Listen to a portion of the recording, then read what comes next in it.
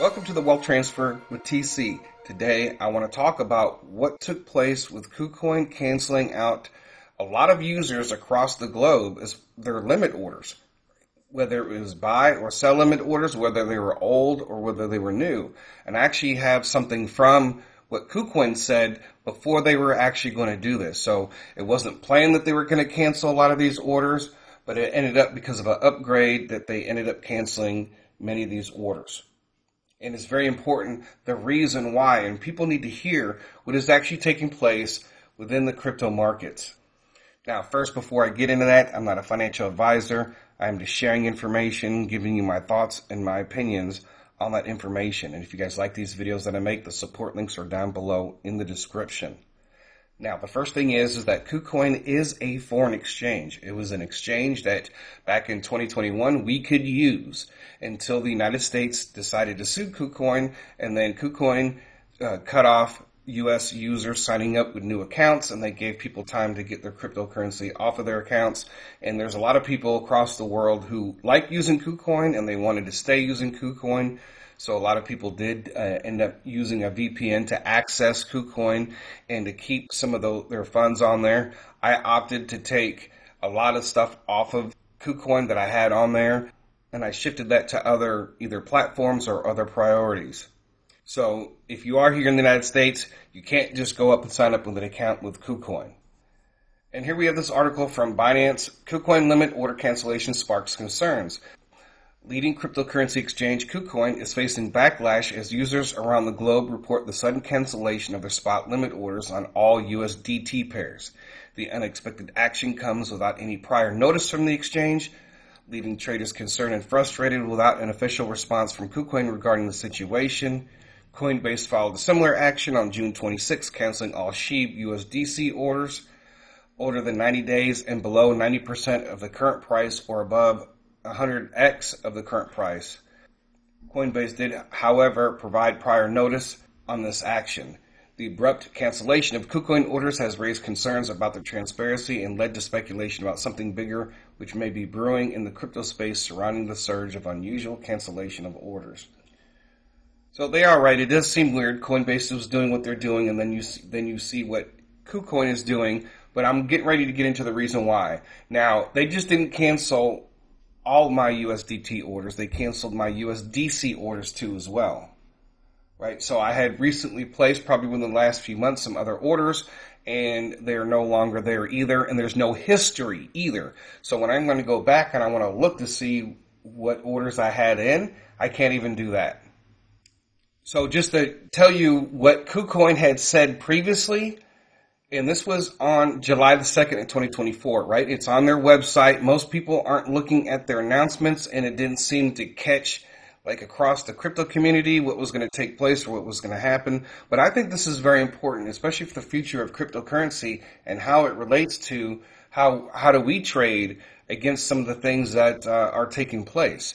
And on July the 2nd, it says here, important update, upgrade plan for spot high frequency accounts.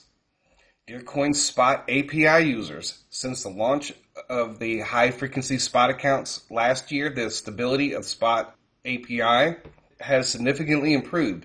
The latency has been greatly reduced. However, currently two systems coexist. Customers using low frequency systems still experience high latency and other issues. Therefore, from July to September, we will be merging and migrating the existing low frequency and high frequency systems. The overall process is as follows. The release schedule, this update will be rolled out in batches on user UID and only affected customers will be impacted.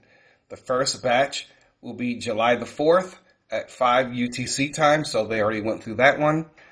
On the 8th is when the cancellation took place. And so the second batch update is on the July the 8th and then there's another update that is coming on July the 10th, right? So if the July the 8th batch is the one that actually wiped out all the orders or the excuse to wipe out all, all the orders, we have another one coming on July the 10th. That, and what is the impact during release? This release will only affect low frequency accounts with high frequency accounts remaining unaffected. Migration of the first batch of low frequency accounts During the migration process, there may be a, a, brief few second windows where order placement, cancellation, or acute query operations may be unavailable. Additionally, spot orders on low frequency counts may be canceled by the system, affecting APP Web API. So they told you here the impact during this release could end up canceling out all the orders. And that's exactly what happened. Some people said that some of their orders weren't canceled uh, but you know what? We're just going to wait and see. And there is another update that is coming. So the orders that you just placed today, yesterday, you may have to redo them again. Well, today's the 9th, so that would be tomorrow on the 10th. So we just have to wait and see what happens. And so this is very important too because if you want to know what high frequency trading accounts, right? API, you can use your trading bot to connect to your account and you have bots that are trading for you. All right. And this is what I've talked about before previously, folks, that the cryptocurrency trading world is being run by bots. That's why when you see all these cryptos dump, they're all dumping at the same time. They're all going up at the same time. It's because of bots.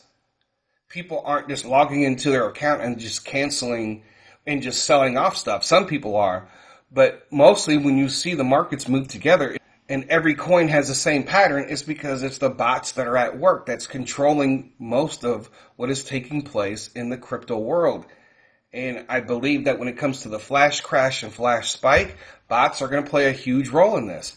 High frequency trading, what is it? Using powerful computer programs to transact a large number of orders in fractions of a second. High frequency uses complex algorithms to analyze multiple markets and execute orders based on market conditions. All right, so all these bots that people are using to connect to their accounts. Now, it's not just people, but it's also hedge funds. So I do believe that this is going to be connected to flash crashes and flash spikes and some that we've seen in the past, right? And so that's the other reason why we prepare. It's not just for the big flash crash or the big flash spike. This actually happens on different platforms. So that's why the other reason we set these orders up. We're not just waiting for the big one, but we're also waiting for smaller ones that do happen. Because of the upgrade is the reason why they canceled the orders. At least that's the excuse that they gave anyway. So if you do reset up your orders, make sure you take a snapshot of what you put up because they are going to do another upgrade that could take out those orders. Now, is this an attack on the wealth transfer? It surely feels like it since what just happened with Coinbase. I'm sure that they use this opportunity to clear out their books, right? I probably would too if I was running the exchange. Or the difference is, is that they didn't tell us like, hey, your sell and buy limit orders might be canceled right? Just like they did here, right? They should have made a bigger deal out of this instead of people waking up and then people all over the globe wanting to know what was going on.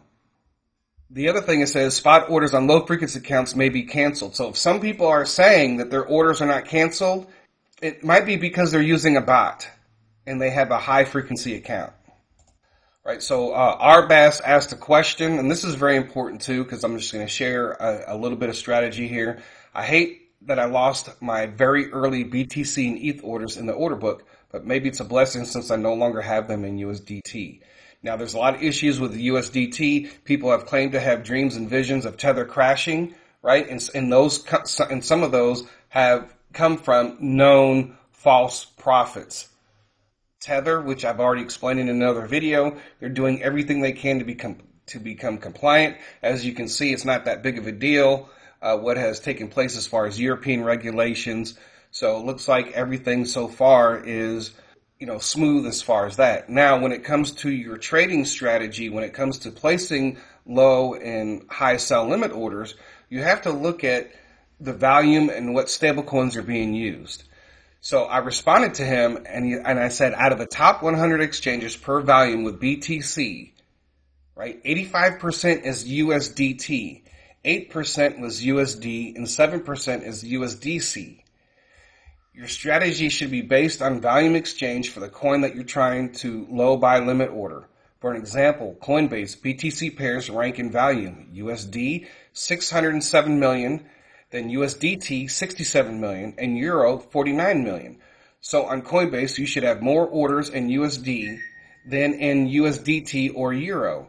Volume on KuCoin, 126 million USDT, 3 million USDC. So I'm going to have more orders in USDT than USDC, right? And that's because of the volume. If there's a big sell off and these bots are selling off Bitcoin or Shiba Inu or whatever, they're going to sell it off in whatever coin that they're programmed to sell it off in. So if most of the volume is in USDT, then when there's a sell off, right, then they're going to sell off in mostly USDT. And when it comes to the flash spike, so if there's a flash spike, it could be in USDT. On KuCoin, more than likely it's going to be USDT as opposed to USDC, but we're prepared for both. You're going to have more sell limit orders in USDT than you are in USDC.